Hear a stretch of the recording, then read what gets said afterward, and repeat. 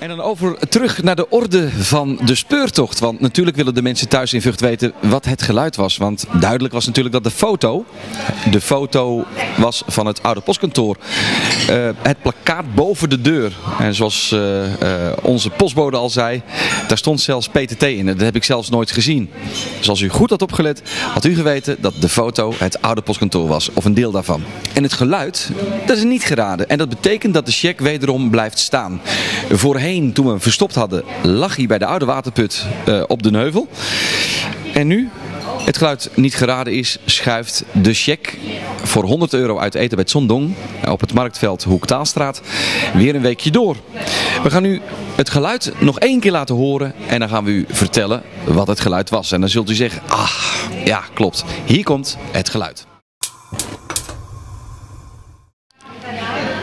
En nu zegt u, ik weet het eigenlijk nog steeds niet. Of misschien zijn er vruchtenaren die zeggen, ik weet het wel. Het was namelijk het geluid van een elektrische ontsteking van een gasfornuis. U hoort een aantal tikken en u hoort boem, de vlam aanslaan.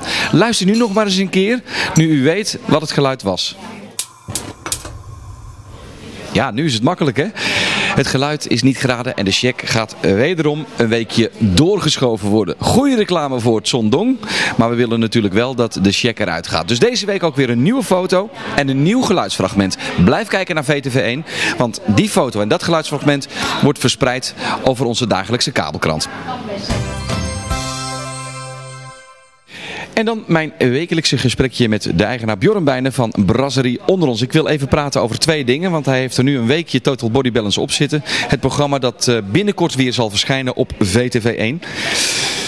Vanochtend een briefje hier mooi. Uh, wijze mannen, zoals ze zelf, zichzelf noemden, grijze muizen.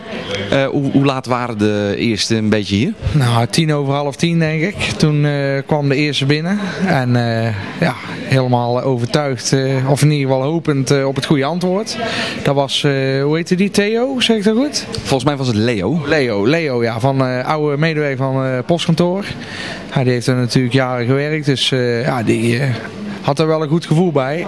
Alleen uh, ja, zo blijkt maar dat een uh, geluid raden, uh, wat dus nou niet is geraden, moeilijker is dan dat iedereen denkt. En ja, je hebt er heel veel gedachten bij, maar ja, eigenlijk pas als je het weet, dan denk je, oh ja.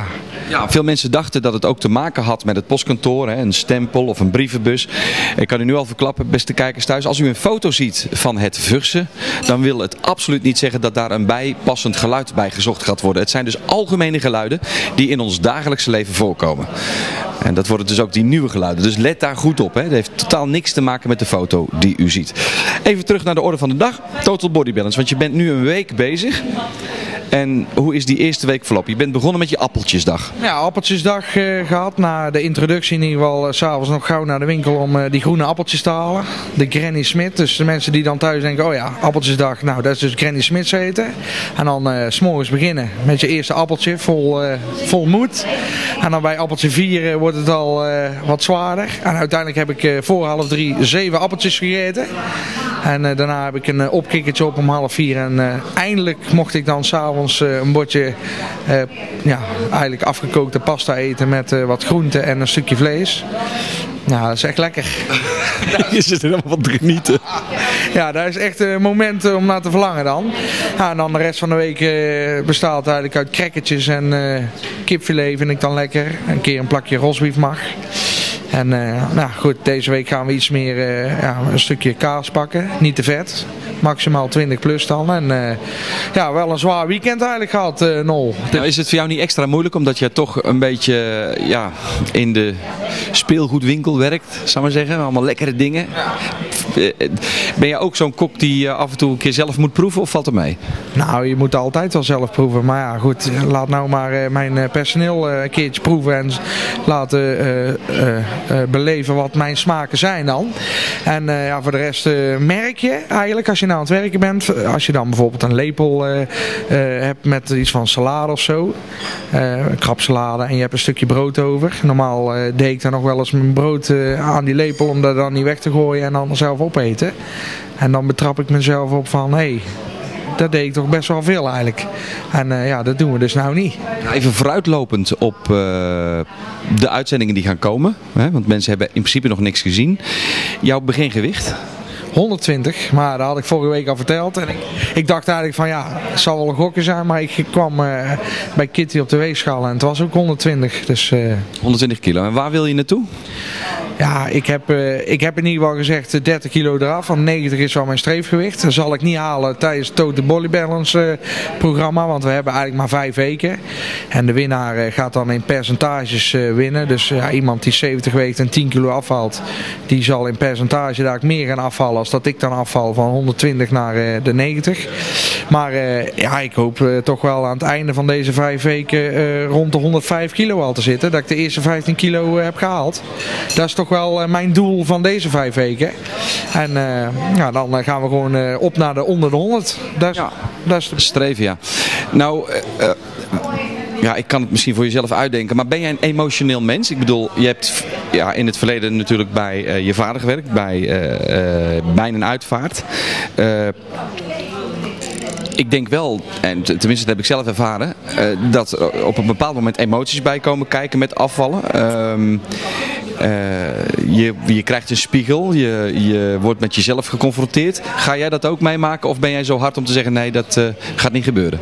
Nou, ik, ik denk niet dat ik ervan ga uh, van huilen of zo. Maar ik heb wel bijvoorbeeld gisterochtend, zondagochtend, dan heb ik hier gewerkt en dan ga ik wel eens naar mijn moeder toe. Dan neem ik altijd wat lekkers mee en croissantjes en zo. En er was wat familie.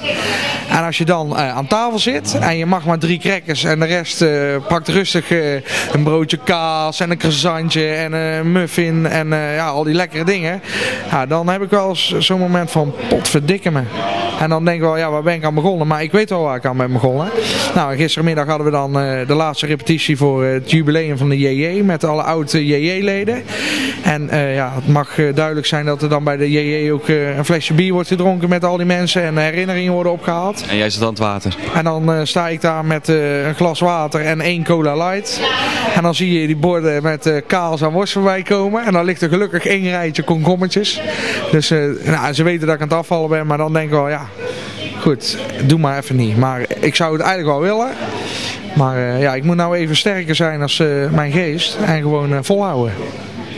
Daar is het eigenlijk. Ik wens jou heel veel succes en tot de volgende week. Ja, tot volgende week weer nul. En tot zover weer tussen koffie en lunch hier aan het Molijnplein. Bedankt voor het kijken en wij zien u graag volgende week ook weer hier. Heeft u evenementen? Zijn er dingen die te staan te gebeuren en waar u Vught en Comfort van op de hoogte wil stellen? Kom dan hier naartoe en ben op tijd als u het raadsel weet, want het zal weer druk worden. Ik heb een briefje klaar liggen. Dus graag tot volgende week hier bij Tussen Koffie en Lunch.